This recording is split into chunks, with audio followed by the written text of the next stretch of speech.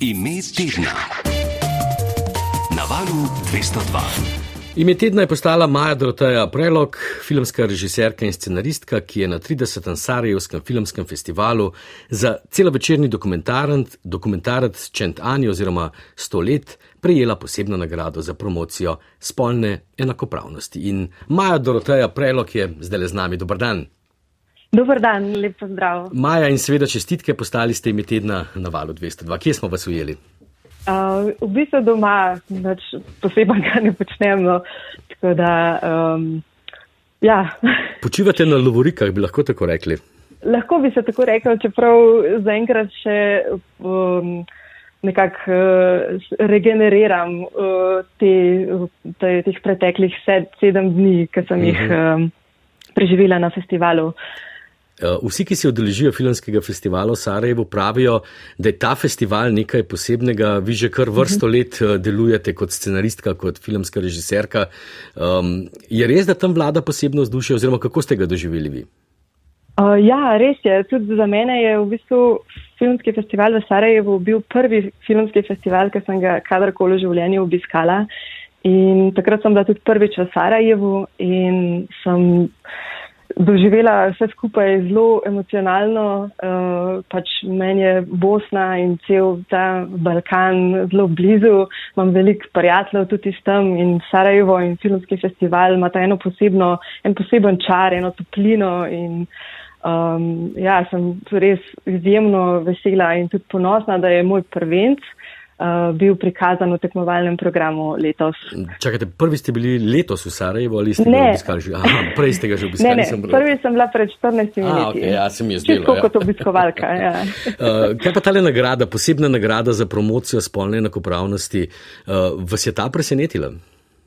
Ja, pač čisto iskreno me je izjemno presenetila. Sporočil sem mi še isti dan mal preden je bila podelitvena uh, slovesnost, nisem v bistvu sploh zares vedela, da ta nagrada obstaja, ampak um, mi pa sem bila ful vesela in ponosna in počaščena, da sem jo dobila, ker za njo se potegujejo filmi iz. Uh, Igrani in dokumentarni filmi in jo podeljuje posebna žirija in to je ena izmed glavnih nagrad festivala. Tako da sem res sem skakala do stropa, sicer sem bila na um, letališču v Skopju, tako da je bil strop res visoko, ampak ja, um, ful vesela. No. Ste pa imeli dovolj časa, da ste si potem kupili tudi obleko za razglasitev, ne, da vas ni presenetilo v Sarajevu. Sicer pa v Sarajevu vaš film ni doživel premjere, svetovna premjera je bila januarja, če se ne motim, v Trstu, uh, ker ste bili tudi um, nagrajeni za ta film. Kako je bil uh, sprejet tam v Trstu? Ja, tako. Um, premjera je bila januarja v Trstu in je bilo pa tudi eno posebno doživetje za mene, ker je bil prvič film prikazan, seveda, premjerno, ne pred, uh, za publiko, kamor je prišlo uh, ogromno mojih uh, prijateljev in družina. In ko pač sem dobila prve odzive od občinstva, sem jih odvalil en ogromen kamen iz srca ker namreč ta film je tako zelo oseben in tako zelo se razgalim sebe in svoje življenje svojega partnerja, da sem se v bistvu bala, kakš, kako bo sprejet med uh, občinstvom, ker ni lahka tema. Uh mhm. -huh. In um, od takrat je bilo v bistvu lažje. Um, ja, nekako sprejeti to, da gre zdaj film v svet. Um, je pa to manjši festival, ne trst, sicer uh mhm. -huh. tudi uh, zelo pomemben, ampak um, ja, v primerjavi s Sarajevom, je Sarajevo je res uh, rdeča preproga, reflektori, uh, publiciteta, tako nekaj, uh mhm. -huh. nekaj drugega. No, če zdaj le zagrabim tole nit, ki ste jo ponudili uh, in se posvetiva samemu filmu. Zdaj, uh, če prav razumem, vse skupaj sta z možem uh, oziroma partnerjem želela potem, ko je prebolel leukemijo, uh, nekako to vse skupaj obeležiti z nekakšnim Giro d'Italia, ne, uh, uh -huh. od Dolomitev do Sicilije. Uh, bili zadolženi za snemanje te njegove zmagovite kolesarske ture, ampak potem pa je vse skupaj zavilo v neke neslutene smeri, kar se sicer pogosto zgodi v življenju. Pa mi povete, kakšen je bil nek ta osnoven koncept filma, kot sta se ga lotila vidva in uh, v kaj je potem vse skupaj prišlo. Mhm. Ja, v bistvu idejo je dobil moj partner Blaž. Potem, ko je pač imel presaditev krvotvornih matičnih celic in se je lahko reklo, da je uspešno v remisiji po akutni, po akutni leukemiji. In je rekel, da pač si želi deliti svojo osebno zgodbo, kako je premagoval leukemijo s svetom in ker sva oba dva uh, z Blažem filmarja, sva pač edino logično uh, je sledilo iz tega, da posnameva film. In ker je on navdušen cestni kolesar, se je odločil, da bo s kolesom pač prekolesaril najznamenitejše vzpone Gira d'Italia in jaz mu sledim s kamero in s tem nekako poveva najno skupno zgodbo, uh, to zmagoslavno zgodbo o, o premagani bolezni, ampak kot ste rekli, ne, je ta pot bila katalizator za neke nezaceljene rane in travme najnega dolgoletnega razmerja. In če sem se hotla s tem soočati, oziroma če sem hotla ta film dokončati, sem se mogla s tem soočati in nekako uh, predelati ja, to, kar se je zgodilo na poti. Pa ste morda na kakšni točki vseeno pomislili, uh, ali vseeno posnamemo ta film, glede na to, da pravite, da je to potem preraslo v neko bolj kot fizično, neko uh mhm. -huh. čustveno potovanje ne? in vas je očitno vse skupaj oba, ne, vaju z blažem, uh mhm. -huh. to precej pretreslo.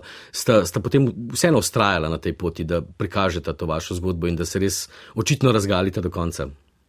Ja, v bistvu um, mi da so toliko energije in uh, časa in dela vložila v to, da prvič, da je Blaž bil sposoben prekolesariti vse to in da smo to šli posnet in da ni bilo sploh vprašanja na, na poti, torej v tistem mesecu snemanja filma, a bomo to speljali do konca ali ne.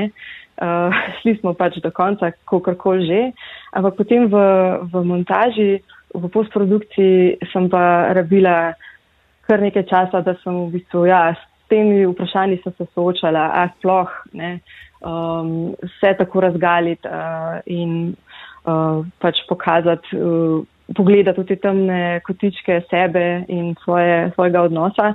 Ampak sem potem na koncu s pomočjo ekipe in seveda tudi s pomočjo Blaža, ki mi je vse čas stal ob strani, čeprav se je odmaknil iz procesa montaže, uh, ugotovila, da je v ranljivosti v bistvu moč, ki, zaradi katere v bistvu sploh lahko se začne neko celjenje in ja, uh, dokler si ne dovolimo biti ranljivi, pravzaprav težko predelamo ene gore vse, gore, uh, uh -huh. ki nam ne dovolijo pač biti uh, srečni in mirni.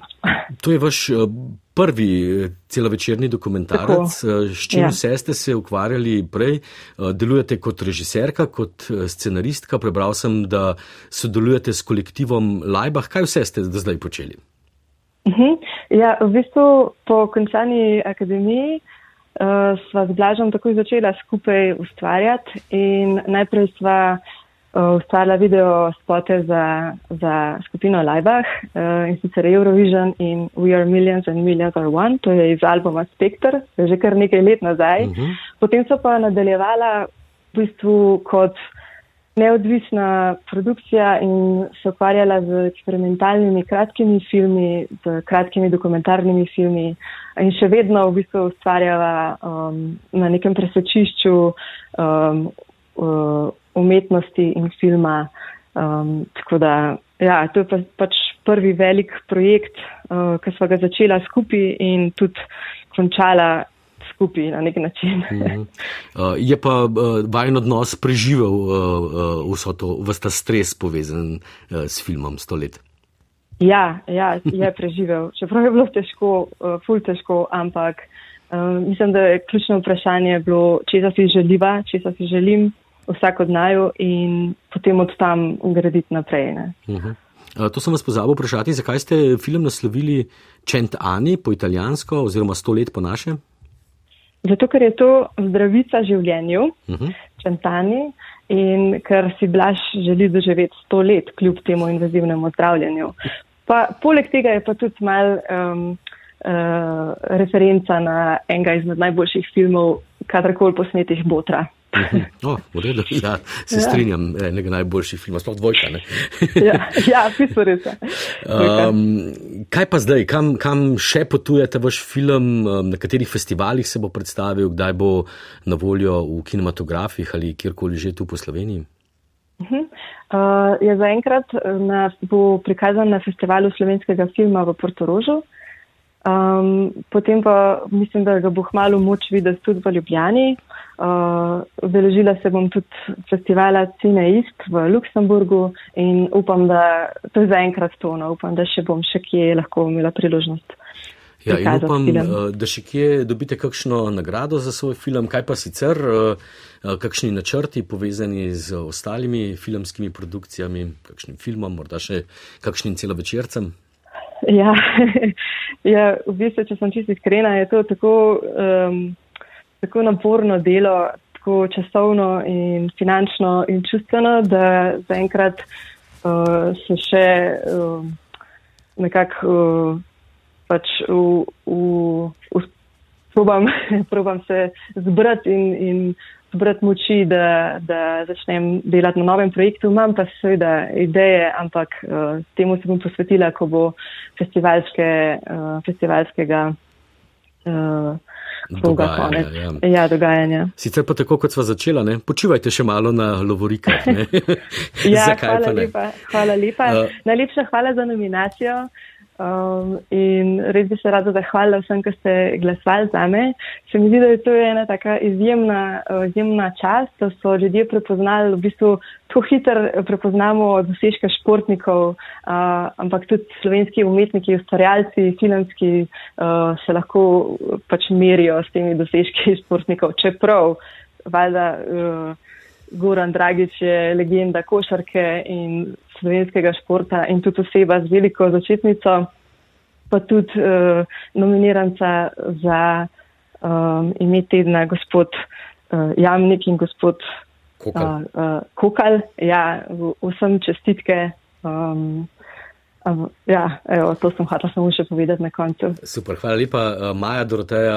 Prelog še enkrat čestitke, ker ste postali ime tedna. In, uh, Kaj, kaj ne rečeva? Veliko uspehov s filmom in uh, s tem, kar boste počeli v življenju še naprej. Hvala lepa. Pa blaža lepo pozdravite. Bom, hvala. Srečno. Lep dan. Čau.